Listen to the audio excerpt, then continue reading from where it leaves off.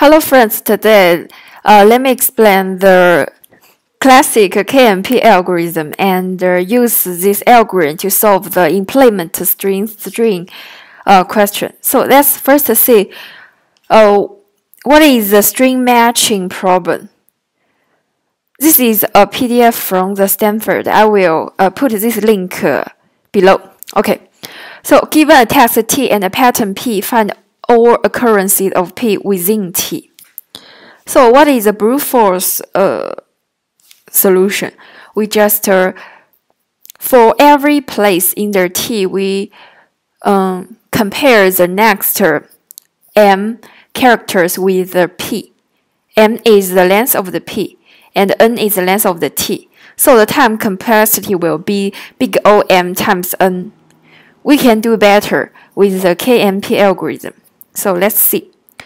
KMP algorithm is a linear time algorithm that solves the string matching problem by pre-processing P in big theta time, AM time. Main idea is to skip some comparison by using the previous comparison result. We will use array pi that defined as the following. Pi i means the largest integer smaller than i. You should pay attention Pay attention to that. This is smaller than i. It cannot equal to i, such that pi uh, to p pi i is a suffix of pi, p1 to pi. Let's see this uh, example. So for the a, we know that uh, there is no uh, common prefix and suffix, so we just uh, return zero. And I'm suitable to mean that the pi i is the common prefix and the suffix of the string p. Then for the AB is still 0, but for ABA we know that it should return 1. What does that mean? Well, A is the prefix of the ABA and A is also the suffix of the ABA. And for the ABAB, is 2, right? So we start from 0 and 1, 2. We know AB is a prefix and also AB is a suffix. And for AB, ABA is 3, which means ABA is a prefix and ABA also a suffix. So for the suffix or the suffix, okay. So for this place, we uh, it's a return 6, so we know AB, is a prefix and the AB is also a suffix. Okay, so what um what's the usage of this pi i? Let's see um example. If we want to match the p in the t, we first get the pi array of the p, and this is the pi array, and then we start to match but we will find that uh, in the first place it is a mismatch. If in the brute force solution we will uh, shift this uh, string one place, and uh, which means we will uh, match at this place A B C D A B C with this B C blah blah. But we know this, this is also return mismatch. So where should we start to the next comparison? Well, we will start from this place. Why? Because we already have three characters match. And we know the pi 3 is 0. So we will just uh, shift 3 minus pi 3, which is 3. So we will shift 3 place. Uh, this is the next place we will compare. And then we find that this is also a mismatch, but we but currently we have zero match and pi zero we define it to the minus a uh, negative one. And uh, in this place we have six characters match. So we will you know that next place we will use the 6 minus pi 6, right? Pi 6 is 2, so we will shift 4 characters. This is the next place we use uh, the comparison. So uh, you will find the importance of this pi array because we can take use of the uh, feature of the pattern P. You see the prefix also a suffix, right? So how to uh, get this pi array? Uh, so so on so forth. You will finally get this uh, match, which is here. So how to get the, pi array is based on two observations. The first is that pi to p pi i is is a suffix of pi to p1 to pi, and then p1 to p pi i minus 1 is a suffix of the pi to pi i minus 1. What does that mean? That means if uh, currently the string is a, b, c, d, a, b, you know a, b is the suffix and also the prefix. So we, if we minus 1, now we have the string of a, b, c, d, a. We know the pi i will be the pi i minus 1 will be 1 because this place a is also the prefix and a is also the suffix. This is what this mean. But what what about the observation 2? All the prefix of p that are suffix of p1 to pi can be obtained by recursively applying pi to i. This is very important. Let's see a uh, example. Okay, in this place, uh, in this place, right? We know the the current C is different from this A, right? Because uh, till here we have a six character match. This is the A B A B, right? Is matched with the A B A B A B.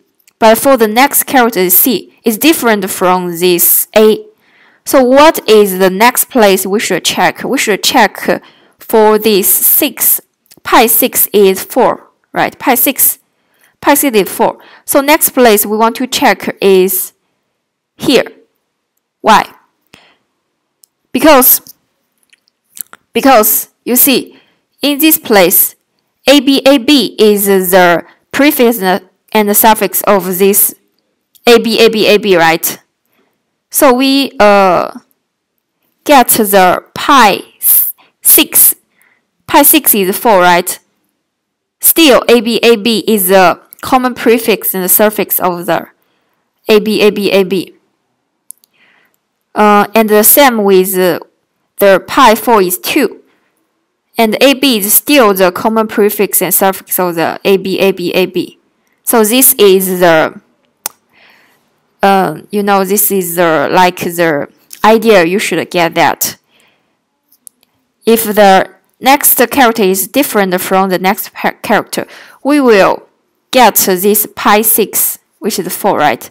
We will compare this A with this C. If not, it's, it's also different. We will uh, get the pi 4, which is 2.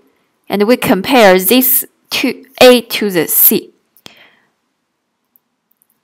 Um, I hope you understand the idea. If you didn't get that, maybe when I write the code, you can understand that. And next, let's see the pseudocode in the CLRS, because I think the pseudocode is very uh, understandable.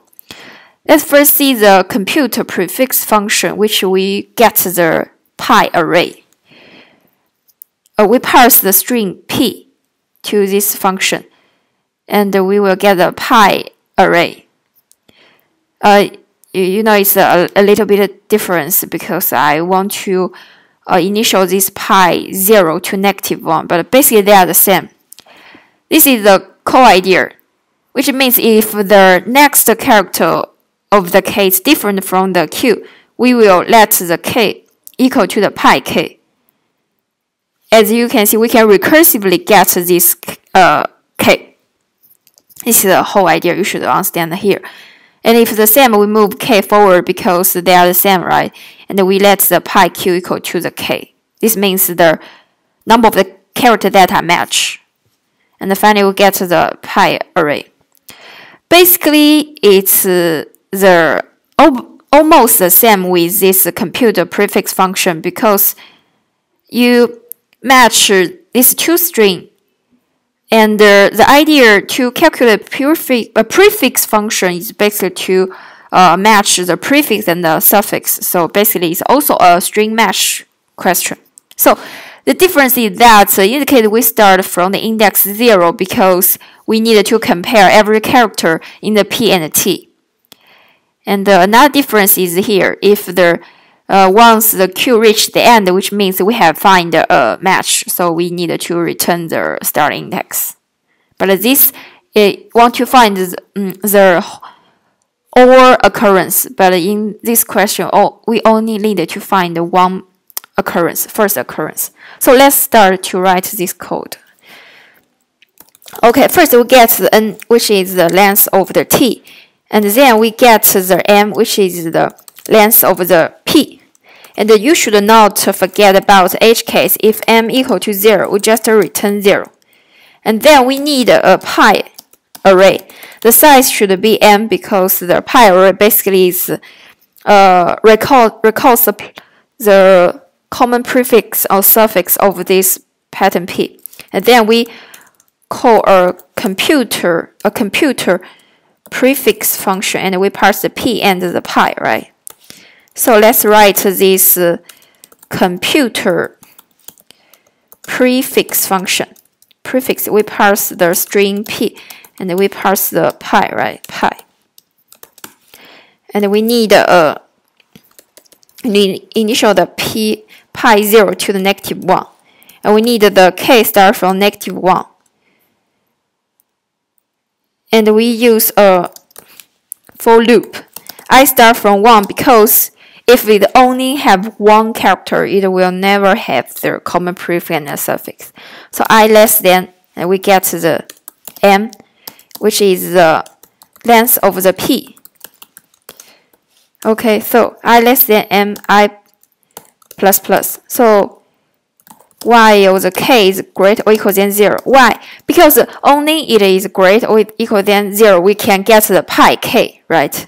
And uh, when the p char at uh, the next place is k plus 1, not equal to p char at i we let k equal to pi k.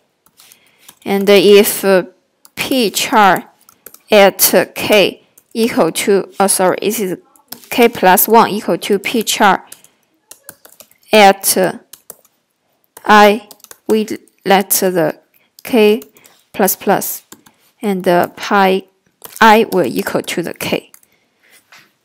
Okay, this is the this part. And for the this part, we will use a k also start from the negative 1. And the for int i equal to 0, we start from 0 because in this case, we should uh, uh, compare every character i less than n i plus plus. So while the k greater or equal than 0 and uh, p, this is t char at i not equal to the p char at k plus 1 if not equal, which which means the next character is diff are different, are different. So we will get k equal to pi k. Okay, then if uh, p if p char at k uh, k plus one equal to t char at uh, i, what is the k plus plus, and if uh, is k equal to m minus 1, which means it reaches the end, right? We will return the i minus m plus 1. Why? Because you see, when the i equal to this 3, right, uh, we, uh, we reach the end. We will minus this length of this p. We minus 2. But we only get 1, so we should plus 1. And finally, we just return negative 1 negative 1.